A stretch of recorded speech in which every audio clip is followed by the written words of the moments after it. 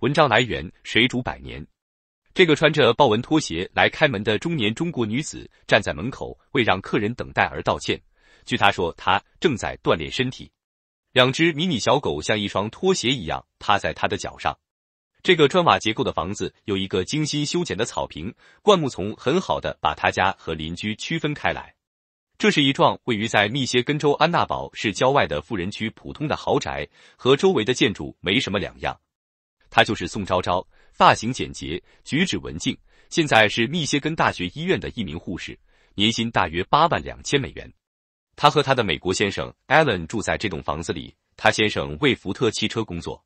尽管他看起来是个普通的美国中产阶级，但是你不能用普通来形容他，别的什么都可以。他和他的兄弟姐妹是位于中国顶层的贵族。他们的父亲宋任穷曾追随毛泽东一起闹革命。在一九六八年失宠以前，一直是中共的高级官员。宋昭昭十几岁的时候，他的父母被下放到中国北部的一家农场，他和他的父母一起住在那里的一个土坯房里。一九七六年毛泽东死后，宋任穷将军回到了国家领导层，他也被认为是中共八老之一。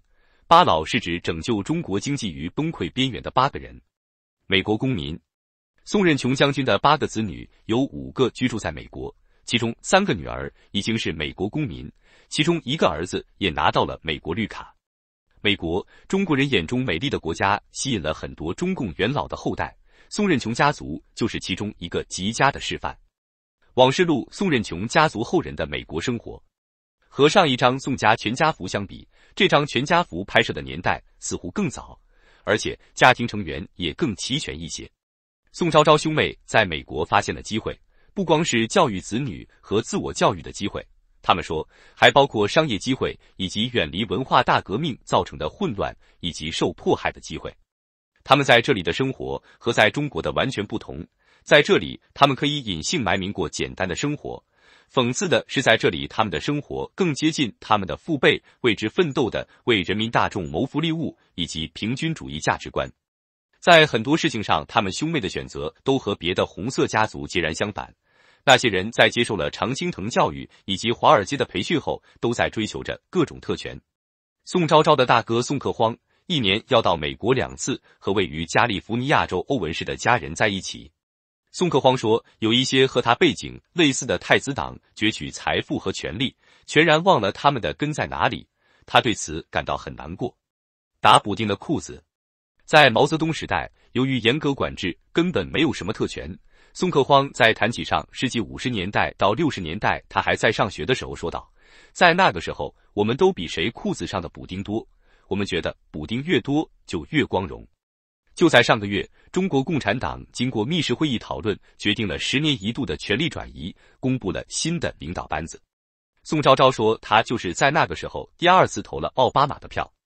作为宋家第二代最年轻的孩子，他很明显。对于记者到安娜堡市来采访，他感到不舒服。他很谦和的花了几分钟回答记者的问题。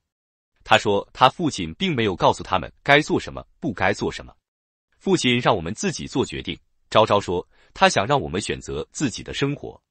狡兔三窟，傅士卓 （Joseph F. Smith），波士顿大学的一名研究中国政治精英的教授。他说。在一九六六年到一九七六年间的文化大革命期间，使政治混乱达到了中共建国以来的顶点，很多家庭都遭受了监禁、下放以及羞辱。